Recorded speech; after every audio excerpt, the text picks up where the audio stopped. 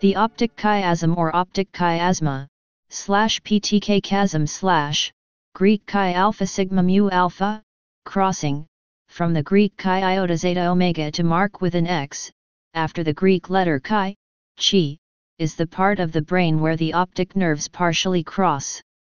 The optic chiasm is located at the bottom of the brain immediately below the hypothalamus.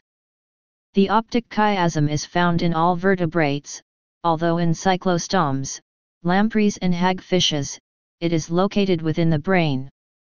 Structure The optic nerve fibers on the nasal sides of each retina cross over, decussate, to the opposite side of the brain via the optic nerve at the optic chiasm, decussation of medial fibers.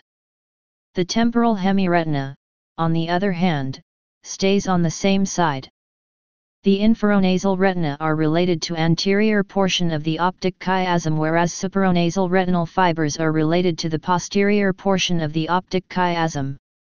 The crossing over of optic nerve fibers at the optic chiasm allows the visual cortex to receive the same hemispheric visual field from both eyes. Superimposing and processing these monocular visual signals allow the visual cortex to generate binocular and stereoscopic vision.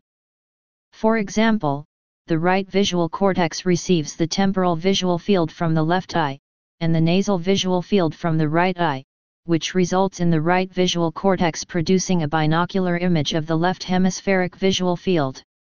The net result of optic nerve crossing over at the optic chiasm is for the right cerebral hemisphere to sense and process left hemispheric vision, and for the left cerebral hemisphere to sense and process right hemispheric vision.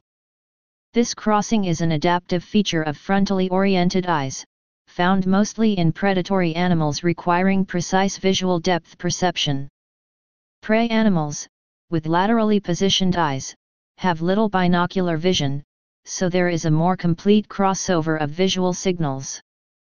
Beyond the optic chiasm, with crossed and uncrossed fibers, the optic nerves become optic tracts the signals are passed on to the lateral geniculate body, in turn giving them to the occipital cortex, the outer matter of the rear brain.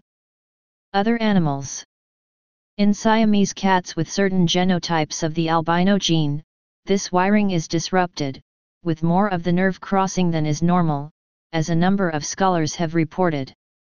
To compensate for lack of crossing in their brains, they cross their eyes, strabismus.